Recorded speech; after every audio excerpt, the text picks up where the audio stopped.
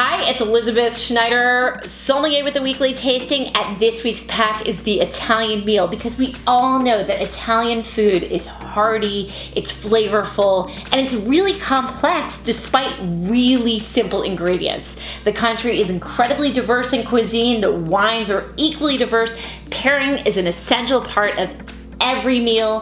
What grows together goes together. Don't forget that adage. So with that in mind, I have never had an Italian meal without Italian wine. I don't think you should either four awesome wines, a Prosecco, which is extra dry, a tiny bit sweet, which is gonna go so well with your antipasti platter. That saltiness is gonna be offset by the sweetness in the wine.